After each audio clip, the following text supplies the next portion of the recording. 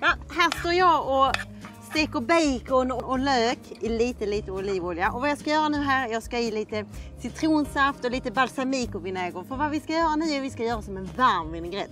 Direkt ner i pannan, för det är här alla smakerna finns. Balsamicon och citronen den blandar sig med fettet från baconet. Allting händer här i stekpannan. Och så ska jag hälla det över lite redan förvälld broccoli och lite bönor. Och sen ska vi äta det med bratwurst och grov senap. Mitt sommartips till er är alltså grillad bratwurst med en sallad på broccoli, bönor, bacon, lök och en rejäl klick senap. Varsågoda!